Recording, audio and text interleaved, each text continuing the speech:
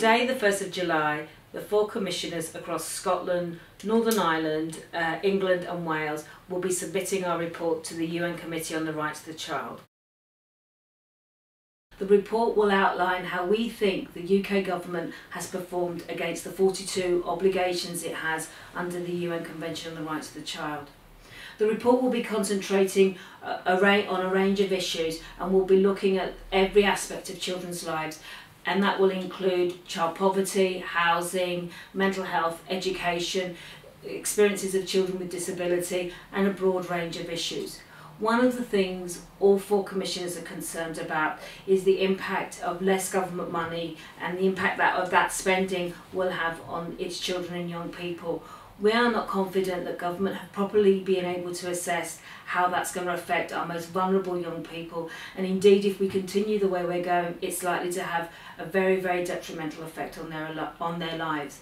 Another issue of concern is child poverty we again, for the same reasons, with cuts in welfare and cuts in government expenditure and services to children and young people, we are very, very concerned, and the evidence is bearing this out, that we will have more children in poverty and not less, as we should be having.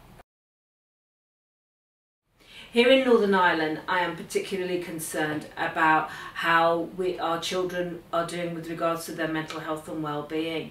Too many children here are hurting themselves and sometimes others because of unresolved trauma um, and issues in their lives, and we really must begin to address it.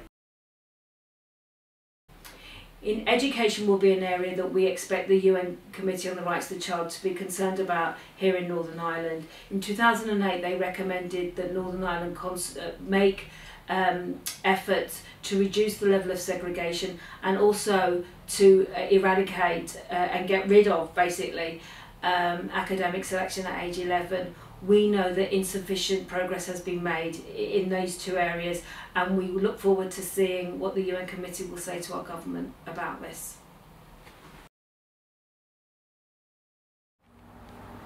In 1990, our government signed the United Nations Convention for the Rights of the Child, which made 42 promises to protect the rights of children and young people within Northern Ireland.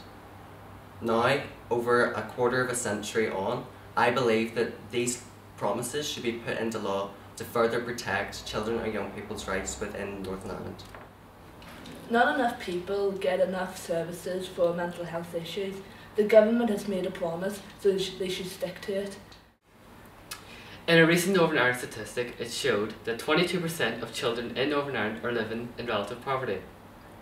We hope that because the UK, UK signed the UN Convention in 1990, we hope that they promise keep their promise of protecting children in poverty.